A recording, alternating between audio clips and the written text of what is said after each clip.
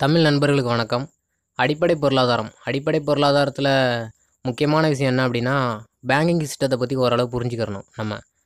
Banking சிஸ்டத்தை பற்றி எனக்கு ஓரளவுக்கு புரிஞ்சுக்கிட்ட அளவுக்கு உங்கள்கிட்ட சொல்கிறேன் உங்களுக்கு தெரிஞ்சிருந்தால் மிச்சத்தை கமெண்ட்டில் சொல்லுங்கள் ஏதாச்சும் மிஸ் ஆகிருந்துச்சுன்னா என்னால் புரிஞ்சு மண்டல ஏறின அளவுக்கு உங்கள்கிட்ட சொல்ல முயற்சி பண்ணுறேன் ஏன் அப்படின்னா அடிப்படை பொருளாதாரத்தில் பேங்கிங் சிஸ்டம் நவீன பொருளாதாரத்தை பொறுத்த வரைக்கும் பேங்க் தான் ஒரு நாட்டோட பொருளாதாரத்தை முழுக்க முழுக்க கட்டுப்பாட்டில் வச்சுருக்கு.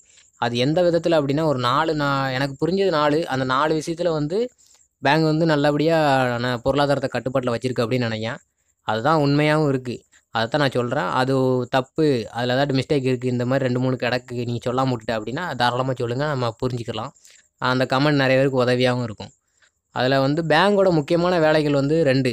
ஒன்று வந்து க கஸ்டமர்கிட்ட இருந்து டெபாசிட் அமௌண்ட்டை வாங்குறது. ரெண்டாவது அந்த டெபாசிட் அமௌண்ட்டை இன்னொரு கஸ்டமருக்கு லோனாக கொடுக்கறது. இந்த ரெண்டு வேலை பா பேங்கோட முக்கியமான வேலைகளில் ஒன்று அந்த ரெண்டு வேலைகள்லையுமே அது சுதந்திரமாக செயல்படுமான்னு கேட்டால் ஒரு சாதாரண தனியார் பேங்கோ சாதாரண கவர்மெண்ட் பேங்கோ சுதந்திரமாக செயல்பட முடியாது. ஏன் அப்படின்னா ஒவ்வொரு நாட்டுக்குமே ஒவ்வொரு முக்கியமான தலைமை வங்கி இருக்கும் நம்ம இந்தியாவுக்கு ரிசர்வ் பேங்க் இந்தியா இருக்கிற மாதிரி. அதே மாதிரி ஒ- ஒவ்வொரு நாட்டுக்கு இருக்கும். அந்த வங்கிகளுக்கு கீழே தான் மற்ற எல்லா வங்கியுமே வரும். அந்த வங்கிகளோட சட்ட விதிகளை பின்பற்றி தான் நடக்கணும். அதில் நம்ம ரிசர்வ் பேங்க் வந்து ஒரு நா ஒரு நாலு விதிகள் இருக்குது அது எனக்கு தெரிஞ்ச நாலு விதிகள் நிறைய இருக்கலாம். எனக்கு உங்களுக்கு புரிகிற மாதிரி சொல்லணும் அப்படிங்கிறக்காண்டி ஒரு நாலு விதியை நான் எடுத்து வந்திருக்கேன். அந்த நாளில் மொதல் வந்து சிஆர்ஆர் கேஷ் ரிசர்வ் ரேஷியோ ரொக்க இருப்பு விகிதம். இது எதுக்காக அப்படின்னா நம்ம ஒரு பேங்க்கில் போய் டெபாசிட் பண்ணுறோம் நூறுரூவா அப்படின்னா அந்த நூறுரூவாயுமே அப்படியே அவங்க வந்து டெபாசிட் பண்ணி இன்னொரு கஸ்டமருக்கு லோனாக எடுத்து கொடுத்துட முடியாது. ஏன் அப்படின்னா நம்ம போய் மறுபடியும் கேட்கும்போது நமக்கு திருப்ப கொடுக்கணும்ல. அதனால் அவ்வளோ பெரிய அமௌண்ட்டையும் மொத்தமாக அப்படியே கொடுக்க மாட்டாங்க. அதுக்கு ஒரு கட்டுப்பாடுகள் இருக்குது அதுதான் அந்த சிஆர்ஆர் அது என்ன அப்படின்னா சிஆர்ஆரோட பெர்சன்டேஜ் அப்படின்னா நம்ம ரிசர்வ் பேங்க் நாலு பெர்சன்டேஜ் வச்சுருக்கு. அப்போ நம்ம நூறுரூவா ஒரு பே பேங்க்கில் போய் போடுறோம் அப்படின்னா அதுலேருந்து நாலு ரூபாயை கண்டிப்பாக அவங்க வந்து ரிசர்வ் பேங்க்கில் டெபாசிட்டாக பண்ணணும். வைப்பு ரொக்க இருப்ப தொகையாக வைக்கணும். அப்படி வச்சா மட்டும்தான் மிச்சம் இருக்கிற அமௌண்ட்டை வந்து அவங்க அப்படியே லோன் கொடுக்கலாமா அப்படின்னு கேட்டால் அதுக்கு இன்னொன்று இருக்குது அடுத்தது வந்து அந்த இன்னொரு வந்து எஸ்எல்ஆர் அதாவது ஸ்டேட்டுவரி ஸ்டேட்டுவரி லிக்யூடிட்டி ரேஷியோ அப்படிம்பாங்க. இது எதுக்காக அப்படின்னா அந்த நூறுரூவாயில் நாலு ரூபாயை நம்ம சிஆர்ஆராக வச்சுருவோம். அந்த சிஆர்ஆர் வச்சு போக எஸ்எல்ஆர் எத்தனை பர்சன்டேஜ் அப்படின்னா இப்போ ரெண்டாயிரத்தி பத்தொம்போதில் பதினெட்டு புள்ளி எழுபத்தஞ்சு பர்சன்டேஜ் வச்சுருக்காங்க. இதுக்கு முன்னாடி எவ்வளோ இருந்துச்சுன்னு தெரில இந்த ரெண்டாயிரத்தி பத்தொம்போதில் பதினெட்டு புள்ளி எழுபத்தஞ்சு பர்சன்டேஜ் அந்த பதினெட்டு புள்ளி இப்போ எழுபத்தஞ்சு ரூபா அதாவது நூறுரூவா கொடுத்தோம்னா பதினெட்டே முக்கால் ரூபாயை மறுபடியும் கொண்டு போய் என்னவா பண்ணணும் அப்படின்னா கவர்மெண்ட்டு சார்ந்த ப பத்திரங்கள் கடன் பத்திரங்கள் அப்புறம் தங்கம் இந்த மாதிரி பொருட்களில் நம்ம கொடுக்குற பேங்க் வந்து முதலீடு பண்ணணும். பண்ணணும். அதுக்கப்புறம் பண்ணிவிட்டு மிச்சம் இருக்கிற தொகையில் மட்டும்தான் ஏறக்குறைய இருபத்தி மூணே முக்கால் ரூபா இதிலே போயிடும் நூறுரூவாயில் மிச்சம் இருக்கிற அந்த அமௌண்ட்டில் தான் மற்ற கஸ்டமருக்கு அவங்க லோன் கொடுத்து அந்த லோன் மூலமாக வட்டி வாங்கி அவங்க பேங்கை வளர்த்துக்க முடியும்.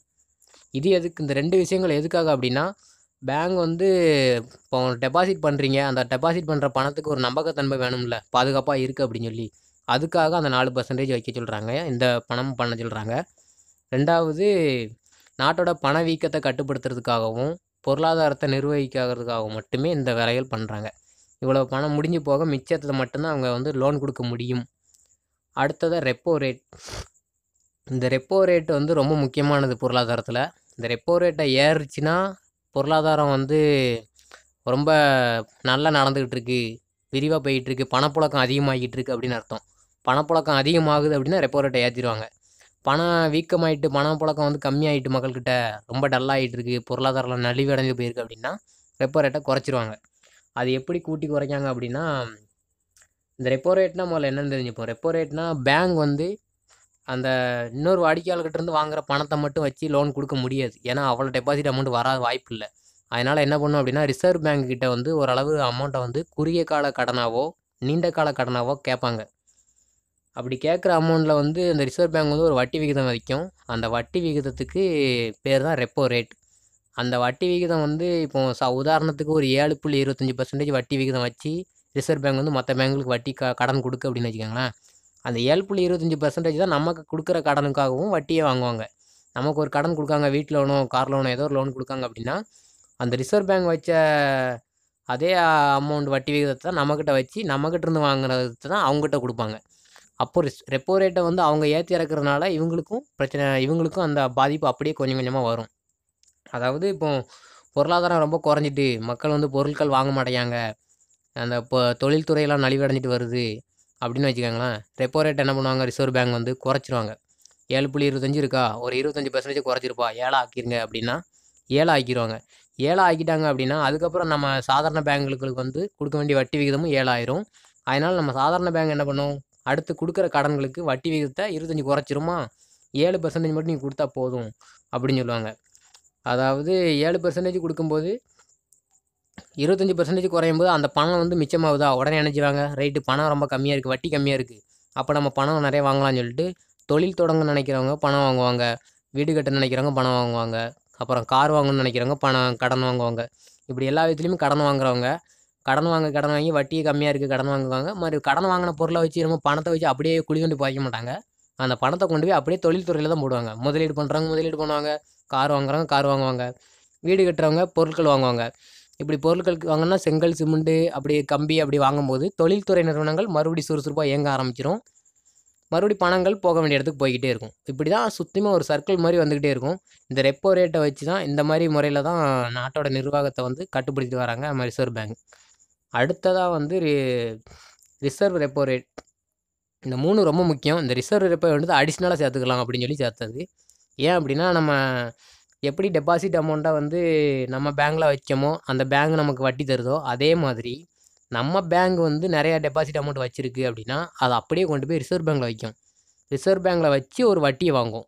அந்த வட்டிக்கு பேர் தான் ரெப் ரிசர்வ் ரெப்போ ரேட் அதையும் ரிசர்வ் வங்கி தான் தீர்மானிக்கும். எவ்வளோ கொடுக்கணும் அப்படின்னு சொல்லி.